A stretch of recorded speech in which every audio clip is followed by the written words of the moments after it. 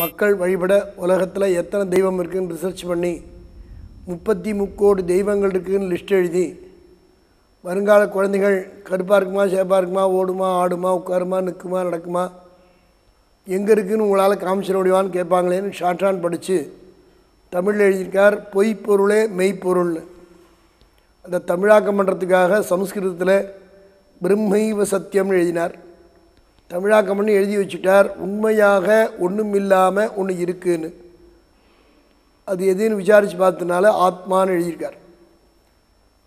அதை இங்கிலீஷ் படித்தவங்க ஃபிலாசபின்னு சொல்லி தமிழில் படித்த குழந்தைகள் வேதாந்தம் சொல்லி தமிழ் தெரியாமல் இங்கிலீஷ் தெரியாமல் அறவரையாக பேசி சோம்பேறி ஆகிடக்கூடாதுங்கிறதுக்காக ஆதிசங்கரத்பாதால் மக்களுக்காக ஆறு தெய்வத்தை வழிபட சொல்லியிருக்கார் அதில் ஒன்று சூரிய பகவானை வழிபடணும். ரெண்டு பராசக்தியை வழிபடணும். மூணு பெருமாளை சேவிக்கணும். நாலு பிள்ளையார கும்பிடணும். அஞ்சு ஈஸ்வரனை வழிபடணும்.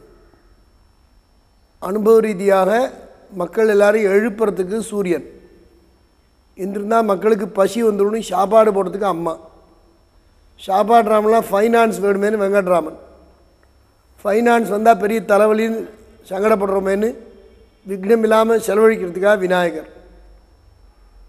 நிறைகுடம்னு டைட்டில் கொடுக்குறார். அவன் தான் ஈஸ்வரனை வழிபடணும்.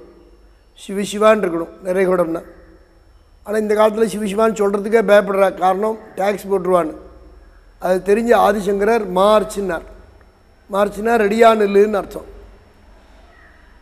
ஜனவரி பிப்ரவரிக்கு அப்புறம் வரிங்கிற மாதமே கிடையாது. ஏப்ரல் ஒன்றுக்குள்ளே கணக்கு எழுதுறதுக்கு ஆடிட் பண்ணுறதுக்கு அறிவு பண்ணுறதுக்கு முருகனை வழிபடணும்னு சொல்லி தந்தவர் ஆதிசங்கரர். அந்த ஆறு தெய்வத்தை நம்ம வழிபடணும்.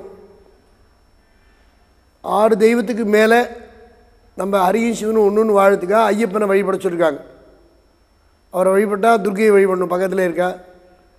அவர் வந்து விஷ்ணுக்கும் குழந்தை ஈஸ்வரனுக்கும் குழந்தை முருகனுக்கு சகோதரன் விநாயகருக்கு சகோதரன் கன்னிமூல கணபதி ஏறாமல் பார்க்காம மேலே போக முடியாது. இப்படி எங்கே சுற்றியும் ரெங்கன சேவின்னு இந்த ஆறு தெய்வத்தையும் எல்லாத்துலேயும் வச்சுருக்காங்க. ஆனால் எல்லாத்துக்குள்ளேயும் இருக்கிறது ஜோதி. அந்த ஜோதி கடவுளான ஐயப்பனை வழிபடுறதுக்கு நல்ல உகந்த நாள். கார்த்திகை மாதம் மாலை அழிந்து அந்த மகர ஜோதி போய் தரிசனம் பண்ணுறோம் அது மாதம் மாதமே அங்கே பூஜை வச்சுருக்கா அந்த மாதம் மாதம் சன்னதி திறக்கும் போது போய் தரிசனம் பண்ணுறது விசேஷம்.